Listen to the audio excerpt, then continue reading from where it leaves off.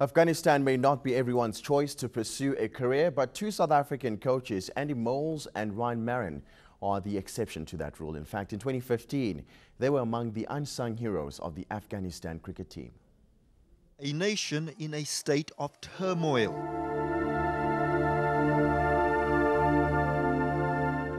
Think when you're born a woman in Afghanistan, you're taught every day to hate yourself. We don't know how to respect women, neither men nor women. No one knows it. Women don't respect themselves. Afghanistan certainly doesn't have a good story to tell. And when traveling to this war torn country, one has to be aware of the many security risks. Security issues are obviously quite quite tense. Um, you know, there is it is a war zone, and there's suicide bombers uh, nearly every day. There's an issue.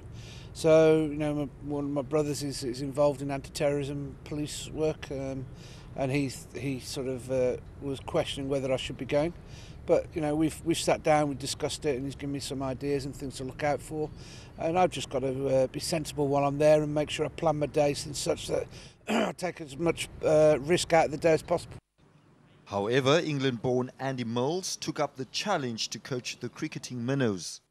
54-year-old Moles is also a journeyman of sorts, having had coaching stints with the Kenyan, Scottish and New Zealand national teams. His is a story of a passionate coach who had a dream of changing the lives of young men living in Afghanistan. I saw, you know, there's a there's a definite opportunity to to help um, a lot of uh, young men who are in a very difficult part of the world in a war zone, and through cricket, you know, give them the opportunity to travel the world and, and help them grow as individuals. Here's Malinga. The Afghanistan cricket team suffered heavy defeats in their five matches in Pool A at the ICC Cricket World Cup Down Under. But the experience of featuring at the tournament against the likes of Australia, New Zealand and Sri Lanka is one they will forever cherish.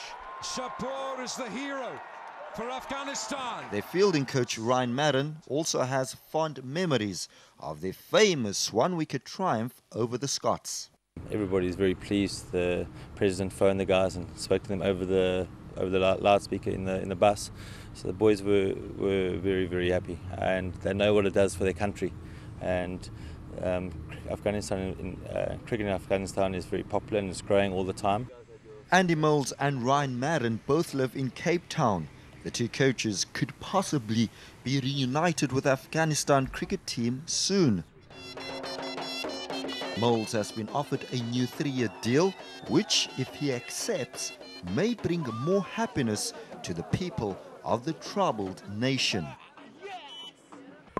When Afghanistan recorded their first World Cup win against Scotland, it not only brought a sense of joy to a country ravaged by war, but it was also described by many as one of the greatest sporting success stories. It's for this reason that coaches Andy Moles and Ryan Madden are now hoping to see fewer guns and more cricket bats on the streets of Afghanistan. Ronald Masinda, Cape Town.